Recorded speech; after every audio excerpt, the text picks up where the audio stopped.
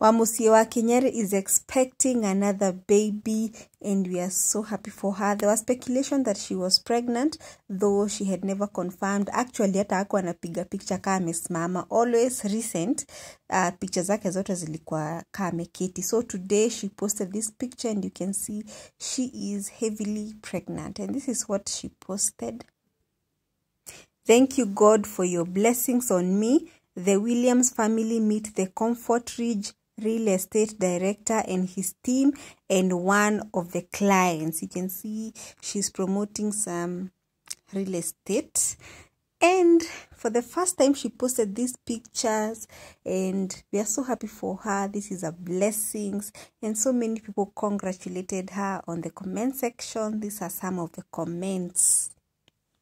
Wow, blessed. Congrats, Mama. You inspire me daily. Mami, nakupenda bure. Sorry to say this, but I see in due time we'll be celebrating a baby girl.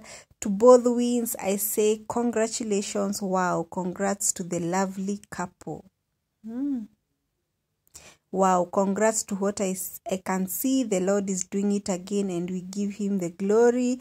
Congratulations. Wow. At long last, you have took photo standing. Kumbe ni- kumbe nikio.